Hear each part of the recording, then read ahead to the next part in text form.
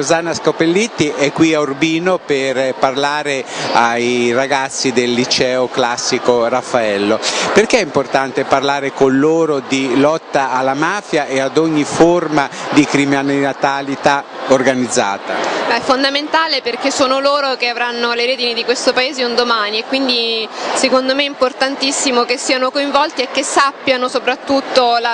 i gravissimi problemi che creano comunque tutte, tutte le, le, le, mafie, quindi sia per le famiglie che vengono colpite purtroppo che insomma il, il, purtroppo il potere della, delle varie mafie è qualcosa che non, riesce, non si riesce nemmeno a controllare secondo me e quindi